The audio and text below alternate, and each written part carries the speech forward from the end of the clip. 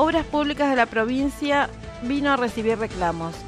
Pablo Díaz se reunió con los padres y docentes del CEPEN 51, del 58, del Centro de Formación Profesional 22 y de las escuelas 133, 22 y 49. Se enteró allí del estado de las obras que están en marcha.